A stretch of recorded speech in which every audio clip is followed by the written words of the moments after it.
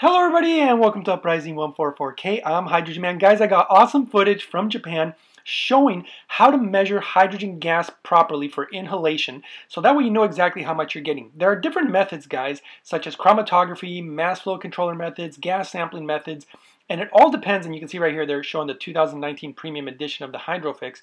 There's different methods depending on what type of hydrogen generator you're going to be testing. In this particular case, because they're going to be actually using the cannula that comes with the device, they're going to use the gas sampling method. It's the most appropriate and adequate way of doing it.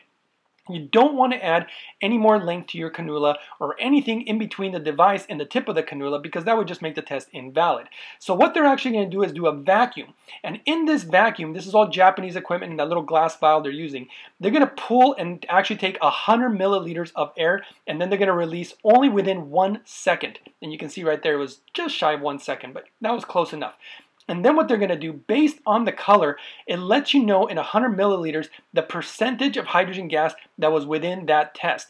It has at least 2 milliliters or 2%. So in 100 milliliters, and you're looking at 2 milliliters in that one second, what you're looking at is at least 120 milliliters per minute or greater, which is right there around therapeutic grade. And the important part is that you're getting really clean hydrogen. You know it's safe, you know the levels are correct, and that's how you do a proper test, guys. If you guys want to test or more information, really, a longer video, on all the details about how to properly do the hydrogen testing for the gas inhalation, and all the different devices and what they're used for. Just something way more detailed and involved and explaining percentages and just all that kind of stuff. Let me know and I can go out of my way to try to do a video like that and get you guys some more interesting footage.